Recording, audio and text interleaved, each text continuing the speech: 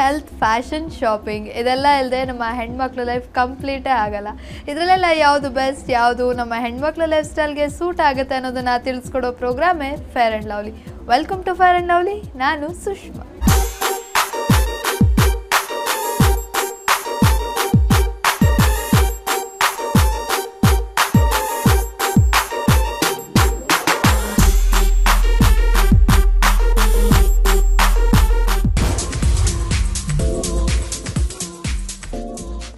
ನಮ್ಮ fashion technical head ಆಗಿರುವಂತಹ ರೇಷ್ಮಾ ಶೆಟ್ಟಿ ಅವರು ಇರ್ತಾರೆ. ಅವ್ರನ್ನ ಕಾರ್ಯಕ್ರಮಕ್ಕೆ ಸ್ವಾಗತಿಸ್ತಾ ಇನ್ನು ಸಾಕಷ್ಟು ಇನ್ಫಾರ್ಮೇಷನನ್ನು ಅವ್ರ ಹತ್ರ ಕೇಳ್ತಾ ಹೋಗೋಣ. ರೇಷ್ಮಾ ಕಾರ್ಯಕ್ರಮಕ್ಕೆ ಸ್ವಾಗತ. ನಮಸ್ತೆ. ಆ್ಯಕ್ಚುಲಿ ಫ್ಯಾಷನ್ ಅಂತ ಹೇಳಿದ್ರೆ ಇವಾಗ ಏನೆಲ್ಲ ಅಪ್ಡೇಟ್ ಆಗುತ್ತೆ ಅದು ನಮಗೆ ಮುಂಚೆನೇ ಗೊತ್ತಿರಬೇಕು. ಬಿಕಾಸ್ ನೀವು ಅದನ್ನು ಟೀಚ್ ಮಾಡಬೇಕು. ಅವರು ಹೋಗಿ ಬುಟಿಕ್ ಓಪನ್ ಮಾಡೋ ಅಷ್ಟರಲ್ಲಿ ಮುಂದೆ ಏನು ಬರುತ್ತೆ ಅನ್ನೋದು ಅವ್ರಿಗೆ ಗೊತ್ತಿರಬೇಕು. ಸೊ ನಿಮಗೆ ಹೇಗೆ ಗೊತ್ತಾಗುತ್ತೆ? ಅದು ನೀವು ಯಾವ ಥರ ಟೀಚ್ ಮಾಡ್ತೀರಾ? ಆ್ಯಕ್ಚುಲಿ ನಮ್ಮಲ್ಲಿ ಫ್ಯಾಷನ್ ಡಿಸೈನಿಂಗ್ ಅಂತಂದರೆ ಫ್ಯಾಷನ್ ಡಿಸೈನರ್ಸ್ ಅಲ್ಲೇ ಫ್ಯಾಷನ್ ಫೋರ್ಕಾಸ್ಟರ್ಸ್ ಅಂತ ಇರ್ತಾರೆ. ಸೊ ನಮ್ಗೆ ಅಪ್ಕಮಿಂಗ್ ಏನು ಟ್ರೆಂಡ್ಸ್ ಇದೆ ಅದು ಟೂ ಇಯರ್ಸ್ ಬಿಫೋರ್ ನಮಗೆ ಗೊತ್ತಾಗುತ್ತೆ. ಅದು ಹೆಂಗೆ ಗೊತ್ತಾಗುತ್ತೆ ಅಂದರೆ ಫ್ಯಾಷನ್ ಫೋರ್ಕಾಸ್ಟರ್ಸ್ ಏನಿದ್ದಾರೆ ಅವರು ಟೆನ್ ಟು ಫಿಫ್ಟೀನ್ ಮೆಂಬರ್ಸ್ ಅವರು ಒಂದು ಕಡೆ ಕೂತು ಮೀಟಿಂಗ್ ಮಾಡಿ ಯಾವ ಥರ ಟ್ರೆಂಡ್ ನಾವು ನೆಕ್ಸ್ಟ್ ತೊಗೊಂಬರ್ಬೋದು ಯಾವುದು ಕಲರ್ ನೆಕ್ಸ್ಟ್ ಟ್ರೆಂಡಿಗೆ ನಾವು ತರ್ಬೋದು ಯಾವ ಥರ ಕ್ಲಾತ್ ನಾವು ನೆಕ್ಸ್ಟ್ ಟ್ರೆಂಡಿಗೆ ಯೂಸ್ಫುಲ್ ಆಗುತ್ತೆ. ಸಮ್ಮರ್ ಇರ್ಬೋದು ವಿಂಟರ್ ಇರ್ಬೋದು ಆ ಥರ ರೈನಿ ಸೀಸನ್ಗೆ ಇರ್ಬೋದು. ಆ ಥರ ಯಾವ ಥರ ಮಾಡ್ಬೋದು ಅಂತ ಅವರು ಡಿಸೈಡ್ ಮಾಡಿ ಇನ್ಫಾರ್ಮೇಷನ್ಸ್ನ ಕೆಲವೊಂದು ಡಿಸೈನರ್ಸಿಗೆ ಅವರು ಕೊಡ್ತಾರೆ. ಅದರಿಂದ ನಾವು ತಿಳ್ಕೊಬೋದು. ಹಾಗಿದ್ರೆ ಇನ್ನು ಮುಂದೆ ಎರಡು ವರ್ಷಕ್ಕೆ ಏನು ಬರ್ಬೋದು? ಹಾಗಿದ್ರೆ ಇವಾಗಿನ ಟ್ರೆಂಡ್ಗೆ ಇನ್ ಇವಾಗ ಇವಾಗಷ್ಟೇ ಅದು ಮೀಟಿಂಗ್ ನಡೀತಾ ಇದೆ. ಸೊ ಇನ್ ಸದ್ಯದಲ್ಲೇ ಒನ್ ಒನ್ ಆರ್ ಟೂ ಮಂತ್ಸಲ್ಲಿ ನಮಗೆ ಗೊತ್ತಾಗ್ಬೋದು. ಗೊತ್ತಾಗುತ್ತೆ. ನೆಕ್ಸ್ಟ್ ಟೂ ಇಯರ್ಸ್ಗೆ ಏನ್ ಬರುತ್ತೆ? ಅನ್ನೋದು ಗೊತ್ತಾಗುತ್ತೆ. ಸೊ ಇವಾಗಿನ ಟ್ರೆಂಡಲ್ಲಿ ಹಾಗಿದ್ರೆ ಏನಿದೆ? ಫ್ಯಾಷನ್ಗೆ ನೀವು ಟೀಚ್ ಮಾಡ್ತಾ ಇರೋದಂದ್ರೆ ಇವಾಗ ಏನಿದೆ ಇವಾಗಿನ ಟ್ರೆಂಡಲ್ಲಿ ಇವಾಗ ನಾವ್ ಇವಾಗ ಆಲ್ರೆಡಿ ಕಾನ್ಸೆಪ್ಟ್ ತಗೊಂಡಿರೋದು ಇವತ್ತು ನಾನು ನಿಮಗೆ ತೋರಿಸ್ಕೊಡ್ತಾ ಇರೋದು ಕೂಡ ಟೈ ಅಂಡ್ ಡೈ ಅಂತ. ಸೊ ಟೈ ಅಂಡ್ ಡೈ ಅಲ್ಲೇ ನಿಮಗೆ ಬಾಟಿಕ್ ಪ್ರಿಂಟ್ ಇದೆ. That is also called resist printing so resist printing ಕೂಡ ಇವಾಗ ತುಂಬಾ ಫ್ಯಾಷನ್ ಇದೆ. ಅಂದ್ರೆ ಸಿಬೋರಿ ಆರ್ಟ್ ಅಂತ ಕರಿತೀವಿ. ಸೊ ಅದು ಇವಾಗ ತುಂಬ ಟ್ರೆಂಡಲ್ಲಿರೋದು ನೀವು ಹಾಕೊಂಡಿದ್ದೀರಲ್ಲ ಡ್ರೆಸ್ಸು ಅದು ಕೂಡ ಸಿಬೋರಿ ಆರ್ಟ್ ಅಂತ ಕರಿತೀವಿ ನಾವು. ಸೊ ಅದು ರಾಜಸ್ಥಾನಿ ಪೀಪಲ್ ಏನಿದ್ದಾರೆ, ಅವ್ರು ಇನ್ವೆಂಟ್ ಮಾಡಿರುವಂಥ ಒಂದು ಆರ್ಟ್ ಓಕೆ ಸೊ ತುಂಬಾ ಕಷ್ಟನಾ ಅದು ಮಾಡ್ಲಿಕ್ಕೆ ಅಥವಾ ಹೇಗಿರುತ್ತೆ ಅದು ಪ್ರೊಸೀಜರ್ ಅನ್ನೋದು ಹೇಗೆ? ಹಾ ಕಷ್ಟ ಅಂತ ಏನೂ ಇಲ್ಲ. ನಮಗೆ ಇವಾಗ ಎಲ್ಲ ತಿಳ್ಕೊಂಡಿರೋದ್ರಿಂದ ನಮಗದೆಲ್ಲ ಈಸಿ ಅನ್ಸುತ್ತೆ. ಬಟ್ ಹೇಳ್ಕೊಡೋದು ಕೂಡ ನೋಡೋದು ಕೂಡ ಪ್ರೊಸೀಜರ್ಸ್ ಎಲ್ಲ ನಾವು ಕೊಡೋದ್ರಿಂದ ಸೊ ಈಸಿ ಇದೆ ಅದು. ಏನಂತಂದ್ರೆ ನಾವು ಅದು ಫಾಲೋ ಮಾಡಬೇಕು. ಕರೆಕ್ಟ್ ಪ್ರೊಸೀಜರ್ನ ಫಾಲೋ ಮಾಡಿದ್ರೆ ಮಾತ್ರ ನಮಗೆ ನೀಟಾದ ಪ್ರಾಡಕ್ಟ್ ಎಂಡ್ ಪ್ರಾಡಕ್ಟ್ ನಮಗೆ ಸಿಗುತ್ತೆ. ಸೊ ಏನೆಲ್ಲ ಬೇಕಾಗುತ್ತೆ ಹಾಗಿದ್ರೆ ಟೈ ಅಂಡ್ ಐಗೆ? ಟೈ ಅಂಡ್ ಐಗೆ ನಮಗೆ ಮೈನ್ ಆಗಿ ಬೇಕಾಗೋದು ಫ್ಯಾಬ್ರಿಕ್ ಫ್ಯಾಬ್ರಿಕ್ ಸೊ ಫ್ಯಾಬ್ರಿಕ್ ಬಂದು ನಾನು ಇವತ್ತು ನಿಮಗೆ ಕಾಟನ್ ಫ್ಯಾಬ್ರಿಕ್ ಮೇಲೆ ಟೈ ಅಂಡ್ ಡೈ ಹೆಂಗ್ ಮಾಡೋದು ಅಂತ ತೋರಿಸ್ಕೊಡ್ತೀನಿ. ಸೊ ಅದಕ್ಕೆ ಬೇಕಾಗಿರೋದು ಕಾಟನ್ ಕ್ಲಾತ್ ಥ್ರೆಡ್ ಬೇಕು ಟೈ ಮಾಡೋದಕ್ಕೆ. ಇನ್ಸೈಡ್ ನಮ್ಗೆ ಏನಾದರೂ ಇನ್ಸರ್ಟ್ ಮಾಡಬೇಕು ನಮಗೆ ಆತರ ಥರ ಬಾಂಧನಿ ಪ್ರಿಂಟ್ಸ್ ಏನಾದ್ರು ಬೇಕು ಬಾಂಧನಿ ಅಂತ ಹೇಳ್ತೀವಿ ಟೈ ಅಂಡ್ ಡೈಗೆ ನಾವು ಜನರಲಿ ಇಂಡಿಯಾದಲ್ಲಿ ಟೈ ಅಂಡ್ ಡೈ ಅಂತ ಹೇಳೋದು ಇಂಡೋನೇಷ್ಯಾ ಮತ್ತೆ ಜಪಾನೀಸ್ ವರ್ಡ್ ಅದು. ಸೊ ಇದು ನೋಡಿ ಈ ತರ ನಮಗೆ ಸ್ಟೋನ್ಸ್ ಬೇಕಾಗುತ್ತೆ. ಆಮೇಲೆ ಅದಕ್ಕೆ ಟೈ ಮಾಡೋದಕ್ಕೆ ಕಾರ್ಡು ಹಾಗೆ ರಬ್ಬರ್ ಬ್ಯಾಂಡ್ಸ್ ಬೇಕಾಗುತ್ತೆ. ಇದು ತುಂಬಾ ಈಸಿಯಾಗಿ ನಾವು ಮಾಡ್ಬೋದು ರಬ್ಬರ್ ಬ್ಯಾಂಡ್ಸ್ ಅಲ್ಲಿ.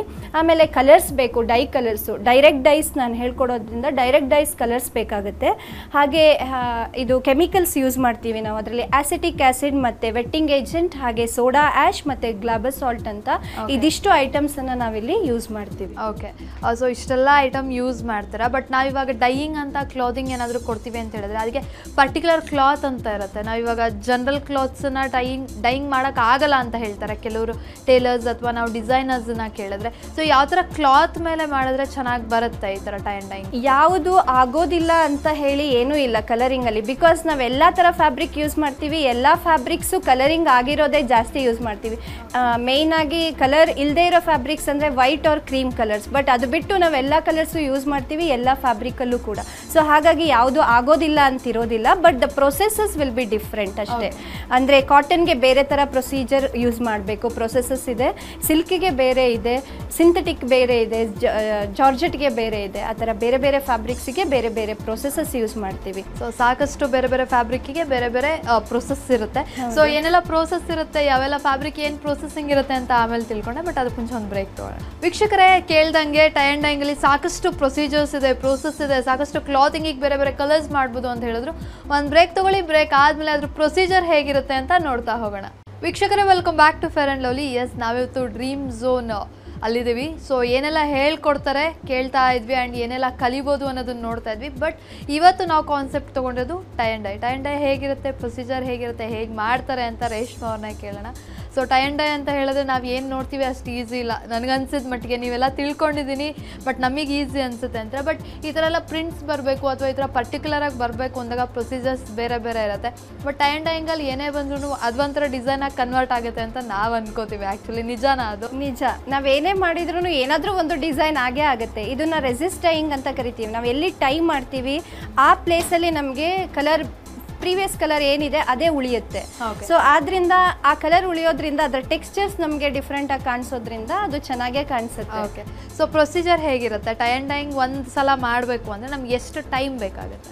ಟೈಮ್ ಬಂದು half an hour to forty five minutes ಬೇಕು. Depends on the process we are using so ಇದರಲ್ಲಿ ಡೈರೆಕ್ಟ್ ಡೈಸ್ ಅಂತ ಬರುತ್ತೆ ಆಮೇಲೆ ಆ್ಯಸಿಡ್ ಡೈಸ್ ಅಂತ ಬರುತ್ತೆ ಕೆಮಿಕಲ್ ಡೈಸ್ ಅಂತ ಬರುತ್ತೆ. ಆ ಥರ ಡಿಫ್ರೆಂಟ್ ನ್ಯಾಚುರಲ್ ಡೈಸ್ ಕೂಡ ಮಾಡ್ಬೋದು ನಾವು ಮನೆಗಳಲ್ಲಿ? ಒಂದು ten to fifteen varieties of ಇದು ಪ್ರೊಸೆಸಸ್ ಇದೆ. ಡಿಸ್ ಇದು ಟೈಯಿಂಗ್ ಡಿಸೈನ್ಸ್ ಇದೆ. ಟೈಯಿಂಗಲ್ಲಿ ಕೂಡ ಡಿಫ್ರೆಂಟ್ ಮೆಥಡ್ ಇದೆ. ಸೊ ನಾವು ಒಂದು ಥರ ಮಾಡಿದರೆ ಬಾಂಧನಿ ಬರುತ್ತೆ. ಇವಾಗ ಸ್ಟೋನ್ಸ್ ಒಳಗಡೆ ಹಾಕಿ ನಾವೇನು ಕಟ್ತೀವಿ ಅದನ್ನು ತೋರಿಸಿದ್ರೆ ಬಾಂಧನಿ ಥರ ಬರುತ್ತೆ. ಸುಮ್ಮನೆ ರ್ಯಾಂಡಮ್ ಆಗಿ ಹಾಕಿದರೆ ಅದೊಂದು ಥರ ಡಿಸೈನ್ ಸ್ಕ್ರಿಬ್ಲಿಂಗ್ ಡಿಸೈನ್ಸ್ ಬರುತ್ತೆ.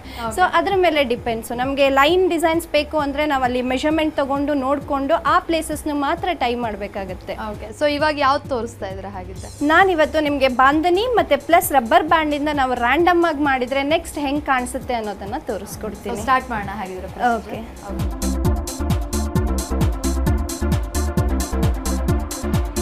ಫಸ್ಟ್ ನಾವು ದುಪ್ಪಟ್ಟ ತಗೊಂಡು ಇದರಲ್ಲಿ ಸ್ಟೋನ್ಸ್ ಇಡೋಣ ಫಸ್ಟು ಸೊ ಸ್ಟೋನ್ಸನ್ನು ಯಾವ ಥರ ಟೈ ಮಾಡ್ಬೋದು? ನಾವು ರಬ್ಬರ್ ಬ್ಯಾಂಡ್ ಹಾಕಿ ಮಾಡೋದ್ರಿಂದ ಈಸಿ ಆಗುತ್ತೆ ನಮಗೆ ಬೇಗ ಆಗುತ್ತೆ.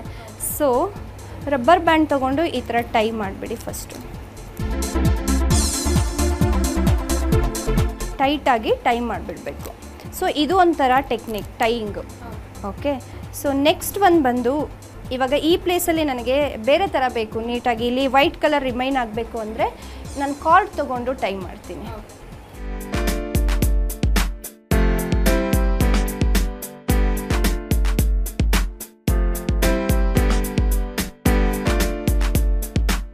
ಸೊ ಇದು ಕೂಡ ತುಂಬ ಟೈಟಾಗಿ ಮಾಡಬೇಕಾ.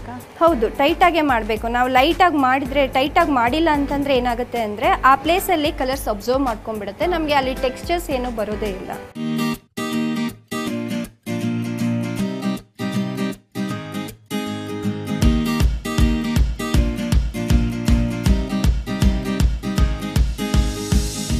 ಸೊ ಫಸ್ಟ್ ಏನು ಮಾಡಬೇಕು ಅಂದರೆ, ನಾವು ಕೋಲ್ಡ್ ವಾಟರಲ್ಲಿದ್ದೆ ಫಸ್ಟ್ ಸ್ಟೆಪ್ ಕೋಲ್ಡ್ ವಾಟರಲ್ಲಿ ಮೆಟೀರಿಯಲ್ ಸ್ಯಾಂಪಲ್ಸ್ ಮಾಡ್ಕೋಬೇಕು.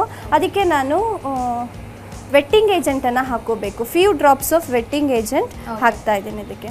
ಸೊ ಅದ ಏಜೆಂಟ್ ಅನ್ನೋದೇ ಸಿಗುತ್ತೆ ಹೌದು. ನಮಗೆ ಕೆಮಿಕಲ್ ಶಾಪ್ಸಲ್ಲಿ ಈ ಥರ ಅದು ಟೈ ಆ್ಯಂಡ್ ಡೈ ಮೆಟೀರಿಯಲ್ಸ್ ಸಿಗುವಂಥ ಶಾಪ್ಸಲ್ಲಿ ಹೋಗಿ ಕೇಳಿದರೆ ಆ ಮೆಟೀರಿಯಲ್ ಸಿಗುತ್ತೆ ನಮಗೆ. ಸೊ ಅದು ತೊಗೊಂಬಂದು ನಾವು ಈ ಥರ ಕೋಲ್ಡ್ ವಾಟರ್ಗೆ ಫಸ್ಟ್ ಹಾಕಬೇಕು. ಬಿಕಾಸ್ ಅದು ಯಾಕೆ ಹಾಕ್ತೀವಿ ಅಂತಂದರೆ ಡೈ ಕಲರ್ಸ್ ನೀಟಾಗಿ ಅಬ್ಸರ್ವ್ ಮಾಡ್ಕೋಬೇಕು ಅನ್ನೋ ಕಾರಣಕ್ಕಾಗಿ ಅದನ್ನು ಹಾಕ್ತೀವಿ. ಅದನ್ನ ಕೋಲ್ಡ್ ವಾಟರ್ ಹಾಕಿ ಈ ಕ್ಲಾತನ್ನು ನಾನು ಅದರಲ್ಲಿ ಡಿಪ್ ಮಾಡ್ತೀನಿ. ಜಸ್ಟ್ ಡಿಪ್ ಮಾಡಿ ಎತ್ತು ಬಿಡೋದಾ ಅಥವಾ ಟೈಮ್ ಇಲ್ಲ ಒಂದು ಟೆನ್ ಮಿನಿಟ್ಸ್ ನಾವು ಇದರಲ್ಲಿ dip ಮಾಡಿಡಬೇಕು okay okay almost ten minutes ಆಗಿದೆ ಅನ್ಸುತ್ತೆ. ಸೊ ನೆಕ್ಸ್ಟ್ ಪ್ರೊಸೀಜರ್ ಏನಿರುತ್ತೆ ಹಾಗಿದ್ರೆ? ನೆಕ್ಸ್ಟ್ ಪ್ರೊಸೀಜರ್ ಬಂದು ನಾವು ವಾಟರ್ನ ಬಾಯ್ಲ್ ಮಾಡ್ಕೋಬೇಕು. ನಾವು ಆಲ್ರೆಡಿ ಸ್ಟವ್ ಮೇಲೆ ಇಟ್ಬಿಟ್ಟು ವಾಟರ್ನ ಬಾಯ್ಲ್ ಮಾಡ್ಕೊಂಡ್ಬಿಟ್ಟಿದ್ದೀವಿ. ಸೊ ಇದಕ್ಕೆ ನಾವು ಫಸ್ಟ್ ಬಂದು ಸೋಡಾ ಆ್ಯಶ್ ಹಾಕ್ತೀವಿ. ಸೊ ಅದು ಹೆಂಗೆ ಹಾಕಬೇಕು ಅಂದರೆ ಒನ್ ಇಸ್ ಟು ಫಾರ್ಟಿ ರೇಷಿಯೋಸಲ್ಲಿ ನಾವು ಹಾಕಬೇಕು. ವೆಯ್ಟ್ ಫ್ಯಾಬ್ರಿಕ್ ವೆಯ್ಟ್ ನೋಡಿಬಿಟ್ಟು ದುಪ್ಪಟ್ಟಕ್ಕಾದರೆ ಇಷ್ಟು ಅಂತೆಲ್ಲ ವೇ ಮಾಡಿಬಿಟ್ಟು ಹಾಕಬೇಕು. ಸೊ ಅದರಿಂದ ನಾವು ಇವಾಗ ಇದಕ್ಕೆ ಫಸ್ಟ್ ನಾನು ಸೋಡಾ ಆ್ಯಶ್ ಅಂತ ಸಿಗುತ್ತೆ. ಸೊ ಇದನ್ನು half of the spoon for one dupatta okay so ಅದನ್ನು ಬಾಯ್ಲಿಂಗ್ ವಾಟರಲ್ಲಿ ನಾನು ಅದನ್ನು ಹಾಕಿದ್ದೀನಿ half of the spoon soda ಆ್ಯಶನ್ನು ಹಾಕಬೇಕು. ಸೊ ಅದ್ರ ಜೊತೆಗೇನೆ ಗ್ಲೇಬಸ್ ಸಾಲ್ಟ್ ಅಂತ ಸಿಗುತ್ತೆ. ಸೊ ಅದು ಕಲರ್ ಪ್ರಿವೆಂಟ್ ಮಾಡುತ್ತೆ. ಸೊ ಅದನ್ನು ನಾವು ಹಾಕಿದ್ದೀನಿ. ಅದಾದಮೇಲೆ ನೆಕ್ಸ್ಟ್ ಒನ್ ಫ್ರಿಕ್ಷನ್ ಆಫ್ ಕಲರ್ಸನ್ನು ನಾವು ಆ್ಯಡ್ ಮಾಡಬೇಕು. ಸೊ ನಾನಿವತ್ತು ರೆಡ್ ಕಲರ್ ತಗೋತೀನಿ. ನಮಗೆ ಎಷ್ಟು ಕಲರ್ಸ್ ಬೇಕು ಅಷ್ಟು ಕಲರ್ಸ್ ಹಾಕ್ಬೋದು ನಾವು ಕಲರ್ಸ್ ಬಂದು ಅದು ಡಿಪೆಂಡ್ಸು ಲೈಟ್ ಕಲರ್ಸ್ ಬೇಕಂದರೆ ಸ್ವಲ್ಪ ಕಮ್ಮಿ ಹಾಕೋಬೇಕು. ಜಾಸ್ತಿ ಡಾರ್ಕ್ ಕಲರ್ಸ್ ಬೇಕಂದರೆ ಒನ್ ಆರ್ ಟೂ ಸ್ಪೂನ್ಸ್ ಹಾಕಬೇಕು. ಸೊ ಆ ಥರ ಹಾಕಿ ಕಲರ್ಸನ್ನು ಸ್ವಲ್ಪ ಇದನ್ನು ಇದು ಡಿಸಾಲ್ವ್ ಆಗಬೇಕು. ಕಲರ್ಸು ಮತ್ತು ಗ್ಲೇಬರ್ ಸಾಲ್ಟ್ ಮತ್ತು ಸೋಡಾ ಆ್ಯಶ್ ಡಿಸಾಲ್ವ್ ಆಗಬೇಕು. ಓಕೆ ಅಂದರೆ ಎಷ್ಟೊತ್ತು ಕುದಿಬೇಕು ಅದು ಹಾಕಾದ್ಮೇಲೆ? ಅದು ಫಾರ್ಟಿ ಟು ಫಿಫ್ಟಿ ಡಿಗ್ರಿ ಸೆಲ್ಸಿಯಸಲ್ಲಿ ಕುದಿಬೇಕು. ಒಂದು ಟೆನ್ ಮಿನಿಟ್ಸ್ ನಾವು ವೆಯ್ಟ್ ಮಾಡಬೇಕು. ಸೊ ನಾನಿವಾಗ ಇದರಿಂದ ವೆಟ್ಟಿಂಗ್ ಏಜೆಂಟಿಂದ ಈ ಕ್ಲಾತನ್ನು ತೆಗೆದು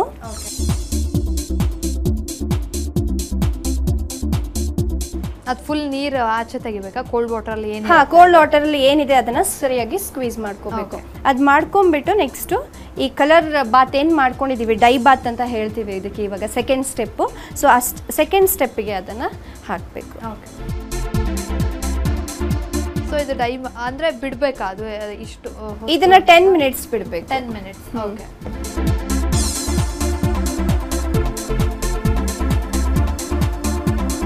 ಓಕೆ ಇವಾಗ ಕಲರಿಂಗ್ ಇದು ಹಾಕ್ಬಿಟ್ಟಿರ್ತೀವಿ ರೆಡ್ ಹಾಕ್ಬಿಟ್ಟಿರ್ತೀವಿ ಆಮೇಲೆ ಏನೋ ನಮ್ಗೆ ಅದು ಚೆನ್ನಾಗಿ ಬಂದಿಲ್ಲ ಅನ್ಸುತ್ತೆ ಏನೋ ಹಾಳಾಗಿದೆ ಅನ್ಸುತ್ತೆ.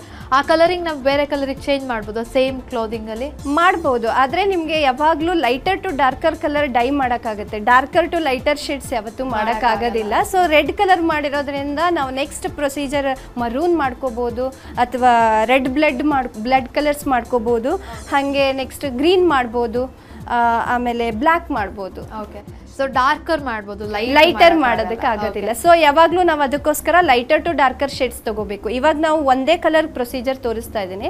ನೆಕ್ಸ್ಟ್ ಸ್ಟೆಪ್ ಬಂದು ಸೆಕೆ ಟೂ ಕಲರ್ಸ್ ತ್ರೀ ಕಲರ್ಸ್ ಎಲ್ಲ ನೋಡಿರ್ತೀರ ನೀವು ಡ್ರೆಸ್ಸಸ್ಗಳಲ್ಲಿ ಸೊ ಆ ಥರ ನಾವು ಮಾಡಬೇಕು ಅಂದರೆ ಟೈ ಆ್ಯಂಡ್ ಡೈ ನಾವು first lighter to darker colour process ಮಾಡಿಕೊಂಡು ಹೋಗಬೇಕು. ಸೇಮ್ ಪ್ರೊಸೀಜರ್ ನಾನು ಏನು ಹೇಳ್ತಾ ಇದ್ದೀನಿ ಅದೇ same procedure but different timing time ಬೀಯಿಂಗಲ್ಲಿ ಮಾಡ್ಕೊಂಡು ಹೋಗಬೇಕು. ಸೊ ನೀವು ಫ್ಯಾಷನ್ ಅನ್ನೋ ಕಾನ್ಸೆಪ್ಟನ್ನು ಹ್ಯಾಂಡ್ಲು ಮಾಡ್ತಾ ಇದ್ದೀನಿ ಅಂತ ಹೇಳಿದ್ರೆ ಫ್ಯಾಷನ್ ಅಂತ ಹೇಳಿದ್ರೆ ಎ ಟು ಝಡ್ ಬರುತ್ತೆ. ಸೊ ಅಂದರೆ ಇವಾಗ ಪ್ರತಿಯೊಂದು ಕಾಸ್ಟ್ಯೂಮ್ ಆಗಿರ್ಬೋದು, ಒಂದು ಏನು ನೈಲ್ ಪಾಲಿಶ್ ಆಗಿರ್ಬೋದು ಕ್ಲಚಸ್ ಆಗಿರ್ಬೋದು ಸ್ಲಿಪ್ಪರ್ಸ್ ಆಗಿರ್ಬೋದು ಆಕ್ಸಸರೀಸ್ ಆಗಿರ್ಬೋದು, ಎಲ್ಲ ಕಾನ್ಸೆಪ್ಟ್ ಅಂದಮೇಲೆ ಫ್ಯಾಷನಲ್ಲಿ ಬಂದೇ ಬರುತ್ತೆ. ಸೊ ನಿಮ್ಮ ಹತ್ರ ಬರೋ ಸ್ಟೂಡೆಂಟ್ಸ್ಗಳು ಯಾವ ಕಾನ್ಸೆಪ್ಟನ್ನು ತುಂಬ ಜಾಸ್ತಿ ಇಷ್ಟಪಟ್ಟು ಕಲಿಯೋದಕ್ಕೆ ಇಷ್ಟಪಡ್ತಾರೆ ಅಂತ? ನನ್ನ ಹತ್ರ ಬಂದ್, ಬರೋ ಸ್ಟೂಡೆಂಟ್ಸ್ ಎಲ್ಲರೂ ಜಾಸ್ತಿ pattern making and garment construction ಹಾಗೆ ನಾನು ಇಲ್ಲಿ ಜಾಸ್ತಿ ಕ್ಯಾಡ್ಸ್ ಕ್ಲಾಸಸ್ನ ಹ್ಯಾಂಡಲ್ ಮಾಡ್ತಾ ಇದ್ದೀನಿ. ರೀಚ್ ಕ್ಯಾಡ್ ಮತ್ತು ರೀಚ್ ಫ್ಯಾಷನ್ ಸ್ಟುಡಿಯೋ ಅಂತ ಟೂ ಸಬ್ಜೆಕ್ಟ್ಸ್ನ ಹ್ಯಾಂಡಲ್ ಮಾಡ್ತಾ ಇದ್ದೀನಿ. ಅದನ್ನು ಜಾಸ್ತಿ ಇಷ್ಟಪಡ್ತಾರೆ. ಹಾಗೆ ಆಕ್ಸಸರೀಸು ಇದೆಲ್ಲ ಬಂದು ಫ್ಯಾಷನ್ ಮ್ಯಾನೇಜ್ಮೆಂಟ್ ಅಂತ ಒಂದು ಸಬ್ಜೆಕ್ಟ್ ಬರುತ್ತೆ. ಸೊ ಅದರಲ್ಲಿ ನಾವೆಲ್ಲ ತೋರಿಸ್ಕೊಡ್ತೀವಿ ಅವರಿಗೆ ಯಾವ ಥರ ನಾವು ಫ್ಯಾಷನ್ ಮ್ಯಾನೇಜ್ ಮಾಡಬೇಕು ಅನ್ನೋದನ್ನು. ಓಕೆ ಸೊ ಇವಾಗ ಫ್ಯಾಷನ್ ಅಂತ ಬಂದಾಗ ಇವಾಗ ತುಂಬ ಜನ ಸ್ಟೂಡೆಂಟ್ಸ್ ಕಲ್ತು ಹೋಗಿರ್ತಾರೆ. ಆಚೆ ಬೊಟಿಕ್ಸ್ ಓಪನ್ ಮಾಡಿರ್ತಾರೆ ಅಥವಾ ಇನ್ಯಾವುದೋ ಆಫೀಸ್ಗಳಲ್ಲಿ ಕೆಲಸ ಮಾಡ್ತಾ ಇರ್ತಾರೆ. ಸೊ ಅವರ ಎಕ್ಸ್ಪೀರಿಯನ್ಸ್ ಹೇಳಿದಾಗ ನಿಮ್ಗೆ ಯಾವ ಥರ ಅನಿಸುತ್ತೆ? ಅಥವಾ ಏನಾದರೂ ಬಂದು, ಮೇಡಮ್, ಈ ಥರ ಆಯಿತು, ಈ ಥರ ಆಯಿತು. ಏನಾದರೂ ಅವ್ರು ಹೇಳ್ಕೋತಾರ ಅವ್ರ ಅನುಭವಗಳನ್ನ ಹೌದು, ಆ ಥರ ತುಂಬ ಆಗಿದೆ. ನಂದು ಟೆನ್ ಇಯರ್ಸ್ ಎಕ್ಸ್ಪೀರಿಯನ್ಸಲ್ಲಿ ಆ ಥರ ತುಂಬ ಜನ ಸ್ಟೂಡೆಂಟ್ಸು ತುಂಬ ಕಡೆ ಸೆಟಪ್ ಆಗಿದ್ದಾರೆ. ಸೊ ಅವರನ್ನೆಲ್ಲ ನೋಡಬೇಕಾದ್ರೆ ತುಂಬ ಖುಷಿ ಆಗುತ್ತೆ. ಆಮೇಲೆ ಇವಾಗ ರೀಸೆಂಟಾಗಿ ಟೀಚರ್ಸ್ ಡೇ ಬಂತು. ಸೊ ಟೀಚರ್ಸ್ ಡೇಗೂ ತುಂಬ ಜನ ಬಂದು ವಿಶ್ ಮಾಡಿದರು. ಸೊ ನಾವು ಈ ಥರ ಬುಟಿಕ್ ಮಾಡ್ತಾ ಇದ್ದೀವಿ ಮ್ಯಾಮ್ ನಾವು ಈ ಥರ ಒಂದು ಫ್ರಾಂಚೈಸಿ ಆರ್ಗನೈಸ್ ಇದು ಮಾಡ್ತಾ ಇದ್ದೀವಿ ಅಂತೆಲ್ಲ ಹೇಳಿ. ಸೊ ತುಂಬ ಖುಷಿ ಆಗುತ್ತೆ ಅವ್ರನ್ನೆಲ್ಲ ನೋಡಿದಾಗ, ಅವ್ರ ಪ್ರೀತಿ ನೋಡಿದಾಗ. ಸೊ ಅದಿನ್ನ ಟೆನ್ ಮಿನಿಟ್ಸ್ ಡಿಪ್ ಆಗಬೇಕು ಅಂತ ಹೇಳಿದ್ರಿ ಬಟ್ ಅದಕ್ಕೆ ಮುಂಚೆ ಒಂದು ಬ್ರೇಕ್ ತಗೊಳ್ಳೋಣ ವೀಕ್ಷಕರೇ, ಸಾಕಷ್ಟು ಟೈ ಆ್ಯಂಡ್ ಡೈಯಿಂಗ್ ಬಗ್ಗೆ ಫ್ಯಾಷನ್ ಬಗ್ಗೆ ಡ್ರೀಮ್ ಝೋನ್ ಬಗ್ಗೆ ತಿಳ್ಕೊತಾನೆ ಇದ್ದೀವಿ ಸೊ ಇನ್ನು ಟೆನ್ ಮಿನಿಟ್ಸ್ ಬೇಕು ಆ ಡಿಪ್ಪಾಗಿ ಕಲರ್ ಅಂಟೋದಕ್ಕೆ. ಅದಾದಮೇಲೆ ಪ್ರೊಸೀಜರ್ ಏನಿರುತ್ತೆ ಅನ್ನೋದನ್ನು ತೋರಿಸ್ತೀನಿ ಬಟ್ ಅದಕ್ಕೆ ಮುಂಚೆ ಒಂದು small break ladies welcome back to Fair and Lovely S ನಾವಿವತ್ತು ಟೈ ಆ್ಯಂಡ್ ಡೈ ಬಗ್ಗೆ ತಿಳ್ಕೊತಾ ಇದ್ದೀವಿ ನೋಡ್ತಾ ಇದ್ದೀವಿ ಪ್ರೊಸೀಜರ್ಸ್ ಹೇಗಿರುತ್ತೆ ಅಂತ. ಆ್ಯಂಡ್ ನೆಕ್ಸ್ಟ್ ಪ್ರೊಸೀಜರ್ ಏನಿದೆ ಅಂತ ಕೇಳೋಣ. So Reshma almost ten minutes ಆಗೋಗ್ಬಿಟ್ಟಿದೆ already so next procedure ಏನಿರುತ್ತೆ ಅದು? ನೆಕ್ಸ್ಟ್ ಪ್ರೊಸೀಜರ್ ಬಂದು ಏನು ನಾವು ಇದಕ್ಕೆ ಸೋಡಾ ಆ್ಯಶ್ ಮತ್ತು ಗ್ಲೇಬಸ್ ಸಾಲ್ಟನ್ನು ಒನ್ ಫ್ರಿಕ್ಷನ್ ಹಾಕ್ಕೊಂಡಿದ್ದೀವಿ ನೆಕ್ಸ್ಟ್ ಸ್ಟೆಪ್ಪಲ್ಲಿ ಬಂದು ಆಫ್ಟರ್ ಟೆನ್ ಮಿನಿಟ್ಸ್ ಅದನ್ನು ಅಗೇನ್ ಇನ್ನೊಂದು second friction of Glauber salt ಮತ್ತು ಸೋಡಾ ಆ್ಯಶನ್ನು ಆ್ಯಡ್ ಮಾಡ್ತೀವಿ ಅದಕ್ಕೆ ಬಿಕಾಸ್ ಯಾಕಂತಂದರೆ ಡೈ ಎಲ್ಲ ಕಡೆಯೂ ಕಂಪ್ಲೀಟ್ ಆಗಿ ಕಲರಿಂಗ್ ತಗೊಂಡಿರೋದಿಲ್ಲ ಕ್ಲಾತ್ಗೆ. ಸೊ ಅದಕ್ಕೋಸ್ಕರ ಸೆಕೆಂಡ್ ಫ್ರಿಕ್ಷನನ್ನು ಹಾಕಬೇಕಾಗತ್ತೆ ಸೆಕೆಂಡ್ ಸ್ಟೆಪ್ಪಲ್ಲಿ ಏನಾದರೂ ಪ್ಯಾಚಸ್ ಬಂದರೆ ಡ್ಯಾಮೇಜಸ್ ಇದ್ದರೆ ಅದು ನೀಟಾಗಿ ಸೆಕೆಂಡ್ ಫ್ರಿಕ್ಷನಲ್ಲಿ ಎಳ್ಕೊಳ್ಳುತ್ತೆ. ಸೊ ಅದಕ್ಕೋಸ್ಕರ ಸೆಕೆಂಡ್ ನಾನು ಸ್ವಲ್ಪ ಗ್ಲೇಬಸ್ ಸಾಲ್ಟ್ ಹಾಗೆ ಸೋಡಾ ಆ್ಯಶನ್ನು ಹಾಕ್ತಾ ಇದ್ದೀನಿ. ನೆಕ್ಸ್ಟ್ ಬಂದು ನೈಂಟಿ ಡಿಗ್ರಿ ಸೆಲ್ಸಿಯಸಲ್ಲಿ ಹೀಟ್ ಸ್ವಲ್ಪ ಬಾಯ್ಲ್ ಜಾಸ್ತಿ ಮಾಡ್ಕೋಬೇಕು ವಾಟರನ್ನು. ಆಮೇಲೆ ಟೆನ್ ಟು ತರ್ಟಿ ಮಿನಿಟ್ಸ್ ಅದನ್ನು ಬಿಡಬೇಕಾಗತ್ತೆ. ಅದಾದ್ಮೇಲೆ ಇನ್ನ ಬೇರೆ ನೆಕ್ಸ್ಟ್ ಹಾ ನೆಕ್ಸ್ಟ್ ಒಂದು ಸ್ಟೆಪ್ ಇದೆ. ಸೊ ನೆಕ್ಸ್ಟ್ ಸ್ಟೆಪ್ಪಲ್ಲಿ ಏನು ಮಾಡ್ತೀವಿ ಅಂದರೆ ವೆಟ್ಟಿಂಗ್ ಏಜೆಂಟ್ ಸಿಗುತ್ತೆ ಡೈ ಫಿಕ್ಸಿಂಗ್ ಏಜೆಂಟ್ ಅಂತ ಸಿಗುತ್ತೆ. ಸೊ ಡೈ ಫಿಕ್ಸಿಂಗ್ ಏಜೆಂಟಲ್ಲಿ ನಾವು ಇದನ್ನು ತೆಗೆದ್ಬಿಟ್ಟು ಕೋಲ್ಡ್ ವಾಟರಲ್ಲಿ ಅಥವಾ ಸ್ವಲ್ಪ ವಾರ್ಮ್ ಆಗಿರೋ ವಾಟರಲ್ಲಿ ಈ ಡೈ ಮಾಡಿರೋಂಥ ಕ್ಲಾತನ್ನು ಅದರಲ್ಲಿ ಡಿಪ್ ಮಾಡಿಬಿಟ್ಟು ಟೆನ್ ಮಿನಿಟ್ಸ್ ಬಿಡ್ತೀವಿ. ಆವಾಗ ಎಕ್ಸ್ಟ್ರಾ ಏನು ಎಕ್ಸಸ್ ಕಲರ್ಸ್ ಏನಿದೆ ಅದೆಲ್ಲ ಹೋಗುತ್ತೆ.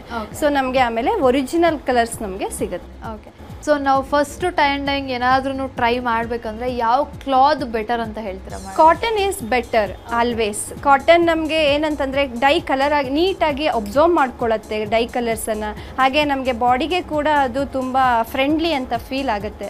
ಸೊ ಅದರಿಂದ ನಮಗೆ ಕಾಟನ್ ಬೆಸ್ಟ್ ಅಂತ ನಾನು ಹೇಳ್ತೀನಿ. ಓಕೆ ಸೊ ಇಷ್ಟೆಲ್ಲ ಪ್ರೊಸೀಜರ್ ಆಯಿತು. ಅದನ್ನ ನಾವು ಡ್ರೈ ಮಾಡೋ ಪ್ರೊಸೀಜರ್ ಕೂಡ ತುಂಬ ಇಂಪಾರ್ಟೆಂಟ್ ಅಂತ ನಾನು ಕೇಳ್ಪಟ್ಟಿದ್ದೇನೆ. ಬಿಕಾಸ್ ಕರೆಕ್ಟಾಗಿ ಡ್ರೈ ಆಗಿಲ್ಲ ಅಥವಾ ಇನ್ನೂ ವೆಟ್ಟಿ ವೆಟ್ಟಿ ಆಗಿದೆ ಅದನ್ನು ಸ್ಟಿಚ್ ಮಾಡಿದ್ವಿ ಅಂದರೆ ಪ್ಯಾಚಿ ಪ್ಯಾಚಿ ಬರೋದು ಬರುತ್ತೆ ಅಂತ ಹೇಳ್ತಾರೆ. ಬಿಕಾಸ್ ಇವಾಗ ನಾವು ಡೈ ಮಾಡಿರೋ ಕ್ಲಾತ್ ಏನಾದರೂ ಒಂದು ಸ್ವಲ್ಪ ದಿನ ಅಥವಾ ಒಂದು ವರ್ಷ ಎರಡು ವರ್ಷ ಆಯ್ತು ಅಂದರೆ ಅಲ್ಲಲ್ಲೇ white white white white patches ಎಲ್ಲ ಸ್ಟಾರ್ಟ್ ಆಗಿಬಿಟ್ಟಿರುತ್ತೆ. ಸೊ ಏಂತಕ್ಕೆ ಆ ಥರ ಆಗುತ್ತೆ ಅಂತ? ಯಾಕೆ ಅಂದರೆ ಡ್ರೈ ಈ ಡೈಯಿಂಗ್ ಪ್ರೊಸೆಸ್ಸಲ್ಲಿ ನಾವು ಕ ನೀಟಾಗಿ ಕಲರ್ಸನ್ನು ಡೈ ಮಾಡಿಲ್ಲ ಅಂತಂದರೆ ಆ ಥರ ಪ್ರಾಬ್ಲಮ್ಸ್ ಆಗುತ್ತೆ. ಮತ್ತು ಇನ್ನೊಂದು ನಾವು ಶೇಡ್ಸಲ್ಲೇ ಯಾವುದೇ ಕಾಟನ್ ಕ್ಲಾತ್ ಡೈಡ್ ಕ್ಲಾತ್ ಇರ್ಬೋದು ಅದನ್ನು ನಾವು ವಾಶ್ ಆ್ಯಂಡ್ ಕೇರ್ ಕೂಡ ತುಂಬ ಇಂಪಾರ್ಟೆಂಟ್ ಆಗುತ್ತೆ.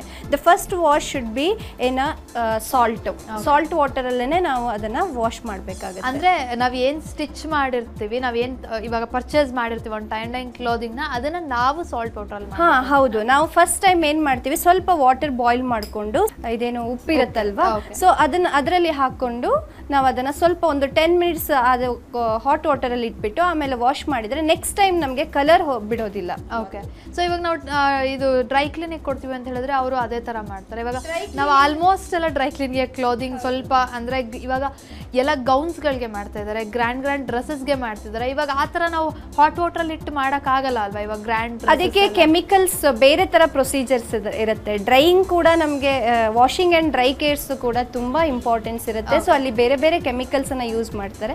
ಅದು ಕೂಡ ತುಂಬ ಲೆಂತಿ ಆದ ಪ್ರೊಸೆಸಸ್ ಇರೋದ್ರಿಂದ ಓಕೆ ಸೊ ಏನೇ ಮಾಡಿದ್ರು ಕೂಡ ನಾವು ಮೇಂಟೈನ್ ಮಾಡೋದು ತುಂಬಾ ತುಂಬಾ ಇಂಪಾರ್ಟೆಂಟ್ ಹೌದು. ಸೊ ಟೈ ಅಂಡ್ ಡೈಯಿಂಗ್ ಅಲ್ಲಿ ಇನ್ನ ಬೇರೆ ಬೇರೆ ಅಂತ ಹೇಳಿದ್ರೆ ಇವಾಗ ಏನೆಲ್ಲ ಮಾಡಬಹುದು ಟೈ ಅಂಡ್ ಡೈಯಿಂಗಲ್ಲಿ tie dye ಡೈಯಲ್ಲಿ tie and dye is a resist printing method so resist printing method ಅಂತಂದಾಗ ನಿಮಗೆ ನೆಕ್ಸ್ಟ್ ಸ್ಟೆಪ್ ಬಂದು ಬಾಟಿಕ್ ಪ್ರಿಂಟಿಂಗ್ ಇರುತ್ತೆ. ಅದು ರಿಲೇಟೆಡ್ ಟು ಟೈ ಡೈ ಏನೇ. ನೆಕ್ಸ್ಟ್ ಬಂದು ಶಿಬೋರಿ ಆರ್ಟ್ ಅಂತ ಹೇಳಿದೆ ಅದು. ಇನ್ನೊಂದು ರಾಜಸ್ಥಾನ್ದು ಲೆಹರಿಯಾ ಆರ್ಟ್ ಅದು ಕೂಡ ಅದೇ ಥರ ಇನ್ನೊಂದು ಕಲಂಕಾರಿ ಅಂತ ಬರುತ್ತೆ. ಇದೆಲ್ಲ related one same kind of art creative art on a cloth so okay ಇವಾಗ ಆಲ್ಮೋಸ್ಟ್ ತರ್ಟಿ ಮಿನಿಟ್ಸ್ ಆಗಿದೆ ಅನ್ಸುತ್ತೆ. ಫುಲ್ ಬಾಯ್ಲ್ ಆಗಿದೆ. ಇನ್ನು ನೆಕ್ಸ್ಟ್ ಏನು ಪ್ರೊಸೀಜರ್ ಮಾಡ್ತಾರೆ? ನೆಕ್ಸ್ಟ್ ಸ್ಟೆಪ್ಪಿಗೆ ನಾನು ಸ್ವಲ್ಪ ವಾರ್ಮ್ ವಾಟರ್ ಇಲ್ಲ ಕೋಲ್ಡ್ ವಾಟರ್ ಕೂಡ ತಗೋಬೋದು. ಸೊ ಅದರಲ್ಲಿ ಡೈ ಫಿಕ್ಸಿಂಗ್ ಏಜೆಂಟ್ ಅಂತ ಸಿಗುತ್ತೆ ನಮಗೆ. ಸೊ ಅದನ್ನು ನಾನು ಫ್ಯೂ ಡ್ರಾಪ್ಸ್ ಹಾಕೊತೀನಿ. ಆಮೇಲೆ ಇದೇನಿದೆ ಈ ಕ್ಲಾತನ್ನು ತಗೊಂಡು ಡೈ ಆಗಿರುವಂಥ ಕ್ಲಾತ್ ತಗೊಂಡು ಅದರಲ್ಲಿ ಹಾಕಿ ಟೆನ್ ಮಿನಿಟ್ಸ್ ಇಡಬೇಕಾಗುತ್ತೆ. ಸೊ ಕೋಲ್ಡ್ ಅಥವಾ warm water cold or warm water ಸ್ವಲ್ಪ ವಾರ್ಮ್ ಇದ್ದರೆ ಸಾಕು. ಟೆನ್ ಟು ಟ್ವೆಂಟಿ ಸೆಲ್ಸಿಯಸ್ ಇದ್ದರೆ ಸಾಕು. ಪಾಟ್ ಓಕೆ ಇವಾಗ ಇದನ್ನೆಲ್ಲ ಆಯಿತು. ಪ್ರೊಸೀಜರ್ ಇನ್ನೊಂದು ಟೆನ್ ಮಿನಿಟ್ಸ್ ಬಿಟ್ಟರೆ ಇದನ್ನು ಡ್ರೈ ಮಾಡಬೇಕು. ಕೆಲವರು ಡ್ರೈಯರಲ್ಲಿ ಒಣಗಿಸ್ತೀವಿ ಅಂತ ಹೇಳ್ತಾರೆ ಡ್ರೈ ಮಿಷಿನಲ್ಲಿ ಅಥವಾ ಕೆಲವರು ಬಿಸಿಲಿಗೆ ಹಾಕ್ತೀವಿ ಅಂತ ಹೇಳ್ತಾರೆ. ಇವಾಗ ಹೆಂಗಾಗಿದೆ ಅಂದರೆ ನಾವು ನೋಡಿರೋ ಪ್ರಾಬ್ಲಮ್ ಪ್ರಕಾರ ಬಿಕಾಸ್ ನಾವು ಸ್ಟಿಚಿಂಗ್ ಮಾಡಿಸಿರ್ತೀವಿ ಅಥವಾ ನಾವು ಸ್ಟಿಚಿಂಗ್ ಮಾಡೋ ನೋಡಿರ್ತೀವಿ. ಕೆಲವು ಪ್ಯಾಚಿ ಪ್ಯಾಚಿ ಬಂದಿದೆ ಅಂತ ಕೇಳಿದಾಗ, ಇಲ್ಲ, ನಾವು ಬಿಸಿಲಲ್ಲಿ ಒಣಗಿಸಿದ್ವಿ, ಅದಕ್ಕೆ ಆ ಥರ ಆಯಿತು ಅಂತ ಕೆಲವು ಡಿಸೈನರ್ಸ್ ಹೇಳ್ತಾರೆ. ನಾವು ಪ್ರಾಬ್ಲಮ್ ಹೋಗಿ ಬೇರೆಯವ್ರನ್ನ ಈ ಥರ ಮಾಡಿಸಿದ್ವಿ ನೋಡಿ, ಈಗ ಆಗಿದೆ ಅಂದರೆ ಅವರೆಲ್ಲ ಬಿಸಿಲಲ್ಲಿ ಒಣಗಿಸ್ಬಿಟ್ಟಿದ್ದಾರೆ, ಅದಕ್ಕೆ ಈ ಥರ ಆಗಿದೆ ಅಂತಾರೆ. ನಾವು ಸ್ಟಿಚ್ ಮಾಡಿಸಿರೋರನ್ನ ಕೇಳಿದ್ರೆ, ಇಲ್ಲ, ನಾವು ಡ್ರೈ ಮಿಷಿನಲ್ಲಿ ಒಣಗಿಸಿದ್ವಿ, ಅದು ಆಗಕ್ಕೆ ಚಾನ್ಸೇ ಇಲ್ಲ ಅಂತಾರೆ. ಮೇನ್ಲಿ ಯಾವುದ್ರಲ್ಲಿ ಒಣಗಿಸಿದ್ರೆ ಪ್ರೊಸೀಜರ್ ಚೆನ್ನಾಗಿರುತ್ತೆ, ಅಥವಾ ಇಂತಿಂಥ ಕ್ಲಾತ್ಗೆ ಈ ಥರ ಪ್ರೊಸೀಜರಲ್ಲಿ ಒಣಗಿಸ್ಬೇಕು ಅನ್ನೋದಿದೆಯಾ? ಹೌದು ಅದು ಮೇಯ್ನ್ ಆಗಿ ಅದು ಕೂಡ ಶೇಡಲ್ಲಿ ಒಣಗಿಸ್ಬೇಕು ನಾವು. ಕಾಟನ್ ಕ್ಲಾತ್ ಇರ್ಬೋದು ಸಿಲ್ಕ್ ಇರ್ಬೋದು ಜಾರ್ಜೆಟ್ ಯಾವುದೇ ಕ್ಲಾತ್ ತಗೊಳ್ಳಿ. Dyeing procedure is very very important ನಾವು ಕರೆಕ್ಟಾಗಿ ನೀಟಾಗಿ ಕರೆಕ್ಟ್ ರೇಷಿಯೋಸಲ್ಲಿ ನಾವು ಡೈ ಸ್ಟಫ್ಸ್ ಏನು ಹಾಕಿಲ್ಲ ಅಂತಂದರೆ ಪ್ಯಾಚಸ್ ಆಗೋ ಚಾನ್ಸಸ್ ತುಂಬ ಇದೆ. ಹಾಗೆ ನಾವು ವೆಸಲ್ಸ್ ಕೂಡ depends on the cloth weight ಏನಿದೆ ಅದರ ಮೇಲೆ ಕ್ಲಾ ತಗೋ ವೆಸಲ್ಸ್ ತಗೋಬೇಕು. ಸೊ ಇದು ಚಿಕ್ಕದು ದುಪ್ಪಟ್ಟ ಆಗಿರೋದ್ರಿಂದ ನಾನು ಇಷ್ಟು ದೊಡ್ಡ ವೆಸಲ್ಸ್ ತಗೊಂಡಿದ್ದೀನಿ. ದೊಡ್ಡ ಸಾರೀಸ್ ಎಲ್ಲ ಮಾಡಬೇಕಾದ್ರೆ ದೊಡ್ಡ ದೊಡ್ಡ ವೆಸಲ್ಸ್ ತಗೊಂಡು ಮಾಡಬೇಕಾಗುತ್ತೆ. ಇನ್ನು ಡೈ ಬಾತ್ಸ್ ಎಲ್ಲ ಬರುತ್ತೆ. ಸೊ ಆ ಥರ ಡೈ ಬಾತ್ಸ್ಗಳಲ್ಲಿ ನಾವು ಮಾಡಬೇಕಾಗುತ್ತೆ. ಆಮೇಲೆ ರೇಷಿಯೋಸು ಕೂಡ ನೀಟಾಗಿ ಹಾಕೋಬೇಕಾಗುತ್ತೆ ಆಮೇಲೆ ಡ್ರೈ ಮಾಡಬೇಕಾದ್ರೆ ಇದನ್ನು ನಾವು ಫ್ಲ್ಯಾಟ್ ಆಗಿ ಡ್ರೈ ಮಾಡಬೇಕು. ಓಕೆ ಯಾವುದೇ ರೀತಿ ಕ್ಲೀನ್ ಆದ ಒಂದು ಪ್ಲೇಸ್ ತಗೊಂಡು ಫ್ಲ್ಯಾಟ್ ಆಗಿ ಶೇಡ್ಸ್ ಅಲ್ಲೇನೆ ನಾವು ಯಾವತ್ತೂ ಹಾಕಬೇಕು. ಸನ್ಲೈಟ್ ಕೆಳಗಡೆ ಇದನ್ನ ಡ್ರೈ ಮಾಡೋಕ್ಕೆ ಹಾಕಬಾರ್ದು. ಓಕೆ ಇವಾಗ ಏನಾದರೂ ನಾವು ಹೇಳ್ದಾಗೆ ಅದು ಹಾಳಾಗಿ ಹೋಗ್ಬಿಡಿದೆ ಬಟ್ಟೆ ಅಂದರೆ ಸೇಮ್ ಅದನ್ನ ಮತ್ತೆ ಮೊದಲಿನ ಸ್ಥಿತಿಗೆ ತರ್ಬೋದಾ? ಡೈಯಿಂಗ್ ಮಾಡಿ ಏನಾದ್ರೂ ಪ್ಯಾಚೆ ಆಗಿರೋದನ್ನ? ನಿಮಗೆ ಪ್ಯಾಚೆ ಆಗಿರೋದನ್ನ ಕಲರ್ ಬೇರೆ ಮಾಡ್ಬೋದು ನೀವು ಇವಾಗ. ಅಥವಾ ರೆಡ್ ಕಲರನ್ನೇ ಇನ್ನೊಂದು ಟೈಮ್ ಸೇಮ್ ಪ್ರೊಸೀಜರನ್ನು ಫಾಲೋ ಮಾಡ್ಕೊಂಡು ಇನ್ನೊಂದು ನೆಕ್ಸ್ಟ್ ಟೈಮ್ ಮಾಡಿದರೆ ಆಗುತ್ತೆ. ಅಥವಾ ಕಲರ್ಸ್ ಚೇಂಜ್ ಕೂಡ ಮಾಡ್ಬೋದು. ಲೈಟರ್ ಇದೆ ಇವಾಗ ರೆಡ್ ಇದನ್ನ ಡಾರ್ಕ್ ಕಲರ್ಸ್ ಮಾಡ್ಕೋಬಹುದು ಸೊ ವೀಕ್ಷಕರೇ ನೋಡಿದ್ವಿ ಟೈಮ್ ಡೈಯಿಂಗ್ ಹೇಗೆ ಮಾಡಬಹುದು ಪ್ರೊಸೀಜರ್ಸ್ ಹೇಗಿರುತ್ತೆ ಅಂತ. ಸೊ ಡ್ರೈ ಮಾಡೋದಕ್ಕೆ ತುಂಬ ಲೇಟ್ ಆಗುತ್ತೆ ಅಂತ ಅವ್ರು ಆಲ್ರೆಡಿ ರೆಡಿ ಮಾಡಿ ಇಟ್ಟಿದ್ದಾರೆ. ನಾವು ಸ್ಟೋನ್ ಕಟ್ಟಿದ್ವಿ ಒಂದು ಸೈಡು ಬಾಂಧನಿ ಪ್ರಿಂಟಿಂಗ್ ಅಂತ ಹೇಳಿದ್ರು ಅದು ಟೈಮ್ ಡೈಯಿಂಗಲ್ಲಿ ಸೊ ಆ ಥರದ್ದು ನಮ್ಗೆ ಈ ಥರ ಬರುತ್ತೆ. ನಾವಿಲ್ಲಿ ಏನು ಕಲ್ ಕಟ್ಟಿರ್ತೀವಿ ಆ ಸ್ಟೋನು ಸೊ ಅದನ್ನು ಓಪನ್ ಮಾಡಿದ್ರೆ ನಮ್ಗೆ ಈ ಥರ ರೌಂಡ್ ಶೇಪಲ್ಲಿ ಡಿಸೈನಿಂಗ್ ಬರುತ್ತೆ. ಸೊ ಅದನ್ನ ಒಂದು ಪುಟಾಣಿ ಫ್ರಾಕ್ ಮೇಲೆ ಮಾಡಿದ್ದಾರೆ. ತುಂಬ ಚೆನ್ನಾಗಿ ಬಂದಿದೆ.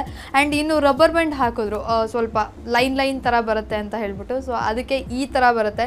ಬಟ್ ಫುಲ್ ದುಪ್ಪಟ ಮಾಡಿರೋ ತುಂಬ ಚೆನ್ನಾಗಿ ಅನ್ನಿಸ್ತಾ ಇದೆ. And full different look ಬಂದುಬಿಡ್ದೆ already and thank you so much Reshma. ಸಾಕಷ್ಟು ಇನ್ಫಾರ್ಮೇಷನ್ ಕೊಟ್ರಿ. ಟೈಂಡ್ ಡೈಂಗ್ ಹಾಗೆ ಫ್ಯಾಷನ್ ಬಗ್ಗೆ. Thanks so much thank you ವೀಕ್ಷಕರೇ ನೋಡಿದ್ರಲ್ಲ ಫ್ಯಾಷನ್ ಅಂತ ಹೇಳಿದ್ರೆ ಯಾರಿಗೆ ಇಷ್ಟ ಆಗಲ್ಲ. ಅದ್ರಲ್ಲಿ ಏನೇನು ಟ್ರೆಂಡ್ ಬರುತ್ತೆ ಹೇಗೆ ಮಾಡ್ಬೋದು ಬಟ್ ನಾವು ಹಾಕೊಳ್ಳೋದಕ್ಕಿಂತ ಪ್ರೊಸೀಜರ್ ಹೇಗಿರುತ್ತೆ ಅಂತ ತಿಳ್ಕೊಳ್ಳೋದು ಇನ್ನೂ ಖುಷಿ. ಸೊ ನೀವು ಏನಾದರೂ ಕಲಿಬೇಕು ಅನ್ನೋದಿದ್ರೆ ಡ್ರೀಮ್ ಝೋನ್ ಬನಶಂಕರಿ ಇಲ್ಲಿ ಬಂದು ನೀವು ಬೇಕಾದರೆ ಫ್ಯಾಷನ್ ಡಿಸೈನಿಂಗನ್ನು ಕಲಿಬೋದು ಅಂತ ಹೇಳ್ತಾ ಇವತ್ತಿನ ಸಂಚಿಕೆಯನ್ನು ಮುಗಿಸ್ತಾ ಇದ್ದೀನಿ. ಮುಂದಿನ ಸಂಚಿಕೆಯಲ್ಲಿ ಇನ್ನೊಂದು ವಿಷಯದೊಂದಿಗೆ ನಾನು ನಿಮ್ಮನ್ನ ಭೇಟಿ ಆಗ್ತೀನಿ ಸುದ್ದಿ ಟಿವಿ, ನಾವು ಸುಳ್ಳು ಹೇಳಲ್ಲ.